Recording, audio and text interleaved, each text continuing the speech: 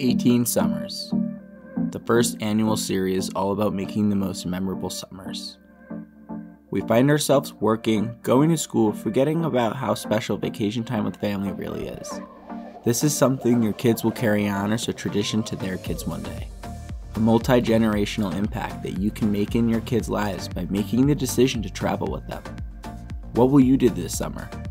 You only have 18.